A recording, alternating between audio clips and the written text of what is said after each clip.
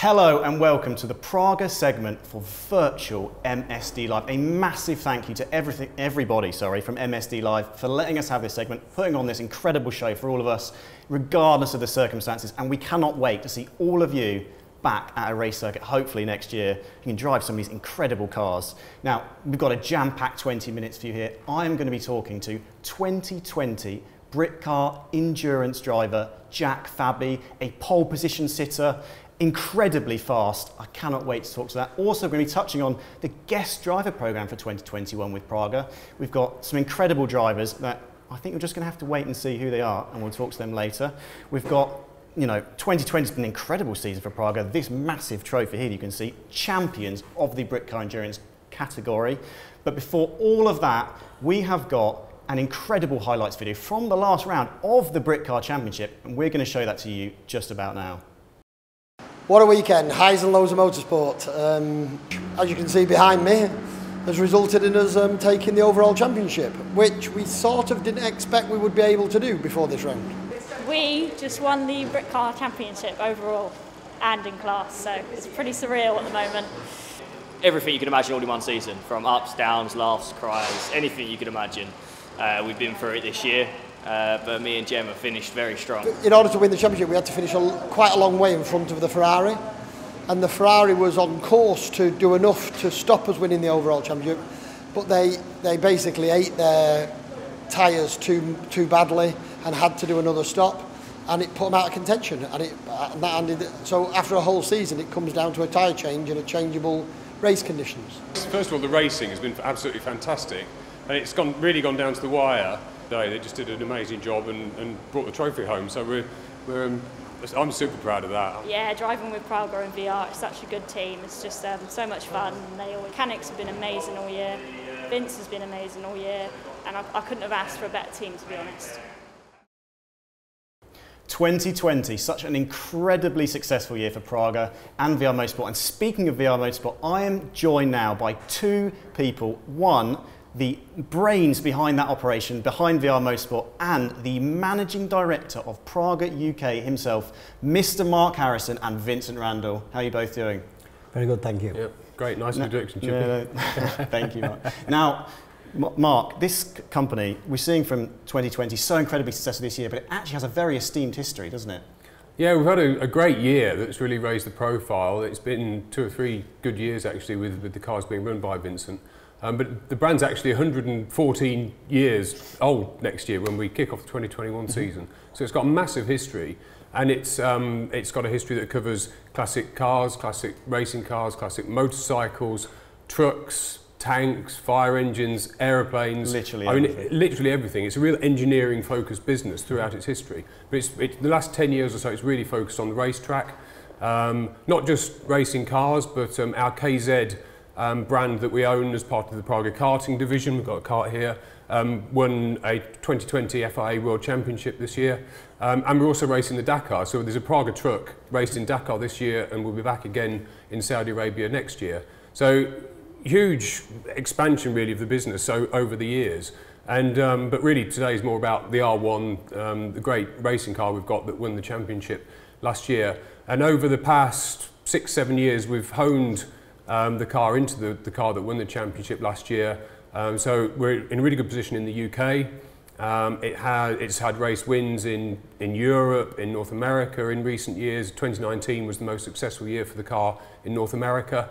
Um, and really that success is driven by, you can see really what, what drives that success. It's all carbon, body and chassis, honed aerodynamics you wouldn't believe. I mean, fantastic. I, I'm not nowhere near got the talent to, to prove that, but, but Jack, who we're speaking to later, will talk about that. Great power to weight ratio, uh, huge amount of downforce around corners in particular, and also oh, that obviously makes it very safe, very drivable for relative novices, but also really experienced drivers, and crucially, easy to maintain and run. And, and that's been Vincent's job um, this year to do that. And I think Vincent will say a few words about that. But, but we, and the great thing is we can announce today that um, we've retained um, Vincent and VR Motorsport Services for, for moving forwards as our R1 dealer, but also a, a new role of racing services provider. So we're announcing that today, which I'm really pleased and proud about. And it's, it's testament to, to Vincent and the team he's developed, the skills he's developed through the season, and, and that was crucial to winning the championship.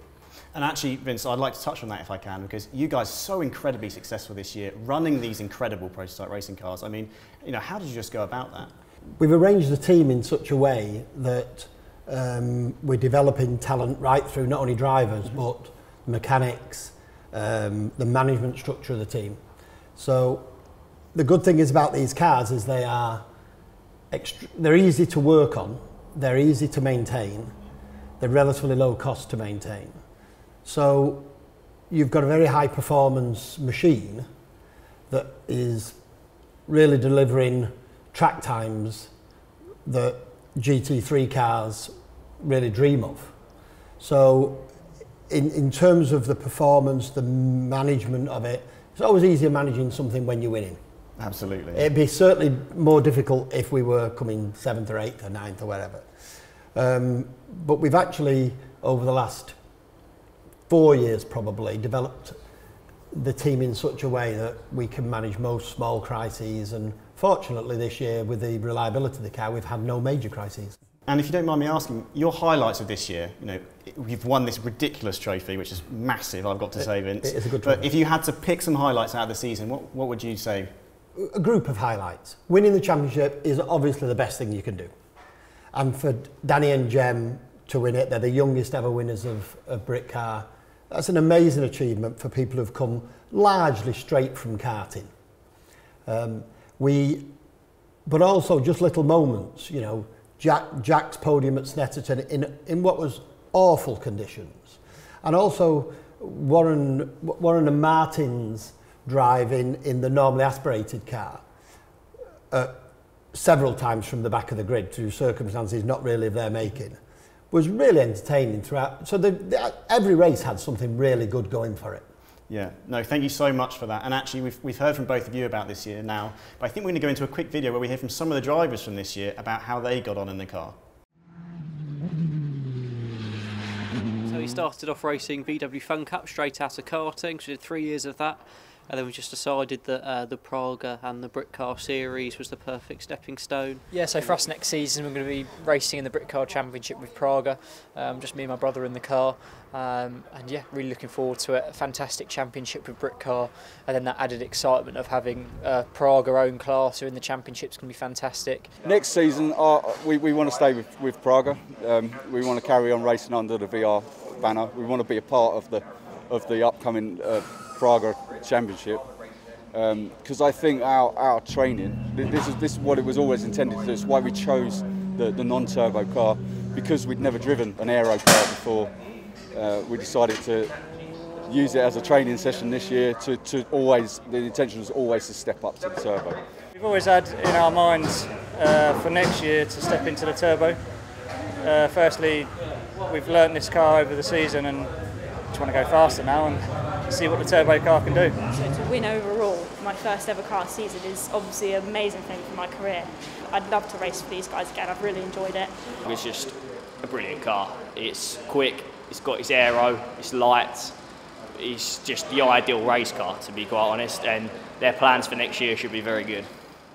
What a season. Now, I'm joined by two incredibly fast racing drivers, one of which was in that video earlier, I think, in Jack Fabby and Charlie Martin. Thank you so much for joining us both. And Jack, if I start with you first, last year, an incredible season for you. What were your highlights? Yeah, thank you very much. Um, wow, uh, what a year. I think Oulton Park was a good highlight of mine. You know, it was the first win that we had with the 84 car. Uh, a lot of hard work went into that one. You know, I was in the workshop for quite a few hours the week before trying to get the car ready and then a lot of work over the weekend with me and Gary. But then to, uh, to go to the end of the season, and that was Snetterton, and you know to get the first pole for the car, and then to also win the last race in pretty difficult conditions, considering you know the fact that it started off dry, it rained in the middle on wet, and it dried again. So um, you know a lot going on in that race, and then to finish the year off exactly how I want to start next year with Charlie mm-hmm. it was it was brilliant. And I think it, it's nice personally to, to have that sort of little victory. And also, actually, like you're mentioning him next year with Charlie. Charlie, you've had an opportunity to drive the car now. What was it like for you when you were first out on it? Oh, just just like a dream, to be honest. I think for any driver to get in a car like this, it, it's it's it's what you want. You know, the car is has so much performance, which is very easy to access from the moment you get in it. You've got that fantastic central driving position, a great view out front. the car is super agile. You can just put it wherever you want. And I mean, yeah, I was, I was grinning from ear to ear, I think, the other day when I got out of it. Yeah, no, I absolutely, Ben. I mean, Jack, talking on that, working with Charlie, she's really experienced for next year. You must be looking forward to what you guys can get done. Well, that's it for sure. You know, she's a super talented and very experienced driver, and I think the fact that you know we really contribute each other really well, um, it's kind of like a powerhouse of performance. I think for next year, and, I, and, I, and I've almost had my hand on the trophy at the end of the last year, but I, I think we should be pretty well off for next year. I think I'm going to coin that into a hashtag, Jack. yeah, to be driving together, it's yeah, it's, it's really exciting, and I, th- I think Jack having that extra level of, of insight into the engineering and the, the setup and development of the car is just uh, yeah, really really cool. And Vince, an incredible season for you guys all year. And I mean, working with these incredible Praga cars, and you know, we can see the car behind there, the car here. Praga really, you know, setting up for a journey for drivers to move through. Absolutely. I mean, we did have an incredible 20, but my job is to look forward to 21. And we've got the opportunity here with having a karts division and a car division. I think that Praga are the only company to be manufacturing both, where young drivers can come through all the way through the karting ranks. Uh, Praga currently have a world champion in the karting, so cer certainly up there competitively wise. Um, and I uh, we, we're trying to encourage as much diversity in the team as possible, whether that be drivers or mechanics or whatever. And actually, that's a great point. I think actually, Charlie, it is Trans Awareness Week as far as I'm aware this week. It must be great to be working with a team. Yeah, so true. I think uh, I'm, I'm so passionate about you know, trying to improve diversity in motorsport and to have a manufacturer like Praga recognising that fact and, and get, providing an opportunity to race with them is, uh, yeah, it's just it's really great to see right now and something we just want to see more of in motorsport. Yeah, I think I, I definitely stand for everyone in general. I think in motorsport when I say it's we need to be doing better in general everywhere. And Jack, looking forward to next year with the new car, the new Praga. What do you think? Yeah, well, that's it. So I've, I've heard some, you know, kind of rumours here and there about it, and um, yeah, I'm really looking forward to it. You know, I had a, a, a bundle of fun driving the 84 car this year, and I, and I, I do look forward to giving the, the new car a bit of a thrashing at the start of next year. No, no, thank you so much. And actually, we have an incredible video that was filmed where Charlie was last Thursday at Donington Park, where I believe Vincent was re-signed for, with Praga. So let's head over to that. We're at Donington Park today. This is day one for our 2021 Britcar Endurance category R1 race series. We've signed a new contract with Vincent Randall and, and VR Motorsport organisation. We've had a brilliant season with them in 2020. Yes, we won the championship, which was great, but actually it's, it's how the team works together with the drivers, um, with the organisation, with Praga that, that really impressed me. VR Motorsport are really um, happy to announce that we've signed to be um, both Praga dealer and Praga's race service provider for 2021. The future for VR Motorsport and Praga is very exciting very interesting. We have many cars planned for the grid for next year with some very interesting drivers and some very interesting driving combinations. So one of the most exciting things about the, the Britcar Praga category will be that not only will we have our paying drivers that are already with us racing Pragas, but we're bringing in what we're calling our guest driver program and, and really to, to kick-start that activity and build the brand. And the headquarters in Prague has offered five cars to the UK that we can populate with high-profile people who want to come into racing and that, that could be a mix of existing professional racing drivers that have a genuine popularity, possibly outside of motor racing through their own personalities, but also novice drivers from different backgrounds. So the list of people who've got racing is a, is a great group of people that will add a huge amount of um, excitement and interest to, to the paddock. The benefit for us will be that we're working with people who will not only present the brand for us internationally, but also will bring something to the whole team. What I hope is that it's a, a fantastic mix of teammates or racing together and they're racing against each other, but actually in the pit lane at weekends, it should be a great buzz. Now we're going to take a look at next year's plans from Praga within Britcar, a dedicated Praga category. But not just that, we're going to take a look at the guest driver program with Mark. And alongside Mark, we're joined by two incredible drivers that are going to be joining Praga next year on that guest driver program in Miles Lacey and Jay Morton. Next year's going to be really exciting. Uh, it's, there's going to be a few thrills and spills, I'm sure, but um, uh, we, we're expecting a, around 24 drivers racing Pragas next season, 12 or 13 R1s. We've worked very closely with Britcar to start developing what will be our own dedicated Praga category. So it worked very well within the Britcar Endurance Championship still, but we'll have our own category. Um, we'll have some of the existing drivers from this season will be joining us. We've got new drivers coming. We've got new teams joining us. Um, but also we've got what we're calling the guest driver program that we're developing. And that's going to be um, probably five cars um, with, with our guest drivers. It will raise the profile of not just Praga, but also the Britcar Endurance Championship itself. So it's, it's great news, we think, for, for us, but also for everybody racing in Britcar. And the fundamental key point of that really is we've picked drivers not just not necessarily just for their abilities, but for their attitude, because we want them to be part of a team. Teamwork at VR Motorsport in Praga is really important, and everybody we've selected, from both novices to experienced drivers, can bring in that team ethic and, and work with us um, next year. So, and those people being, as you said, Jay, Mars, and also Charlie Martin. And uh, Jay, actually, if we start with you, from a slightly less experienced, I think, in motorsport background, you've driven the car a few times now. What's it been like? Yeah, I drove it. I drove it for the um, for the first time last week. Uh, firstly, guys, apologies for not being able to get up to you guys. Um, but yeah, I've just been busy with the book launch. Um, but yeah, went out in the car last week, and you know the car is completely different to any car that I've been on track with, um, and I've driven you know road cars and GT cars on track. Um, like I, I struggle to find the words to describe the feeling of driving the car. If I'm honest, it's completely different to, to anything I've driven before, um, in in in a great way. Um, but like I have minimal experience driving on track and especially racing. So to be able to jump in the Praga and drive it straight, you know, straight off from from having minimal experience is great. Um, you know, the car, you know, it was just it was it was fun to drive, but you know, for me, like you know, I can drive a car on track and I come away and I'm excited, right? I've got got a bit of a buzz, um, but I'm not, yet, you know, it doesn't leave leave me with the same excitement as when I go out in the Praga. Like I took that thing around track um, up at, at Donington and, and the feeling you get from after you've been in the car, the, the sensation and the buzz, because, you know, it's loud, everything's on fat, like it feels alive, which is, you know, way different to taking a car on track or a GT car. And actually, Miles, if we move to you quickly, from a much more experienced driver's point of view, you were there also on Thursday. What was that car like for you? So, yeah, it was a hell of an experience. First of all, for a supercar driver to be invited to the event. It was the first chance for us to actually drive this car.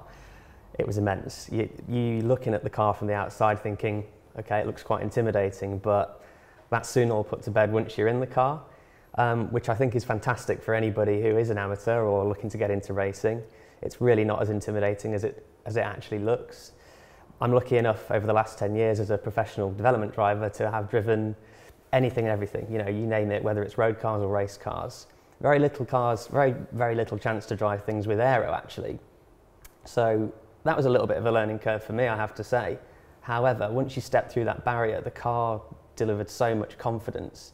And what was really impressive, and Mark would agree to, to the same statement, I'm sure, anyone that jumped out of the car just had this ridiculous grin on their face, didn't they? Absolutely.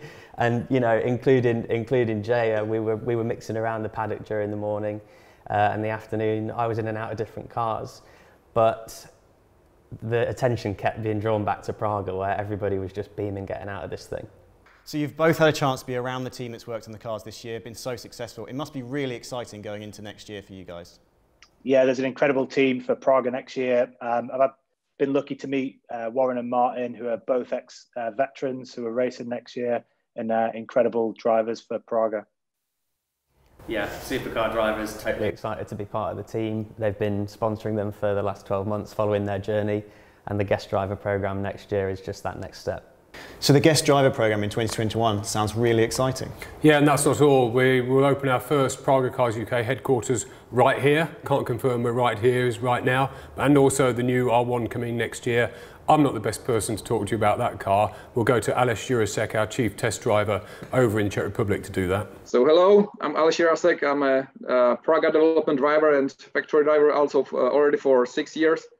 And right, right now I have a prodigium to drive the new R1 uh, on the racetrack, which is great uh, privilege for, for me and uh, great opportunity.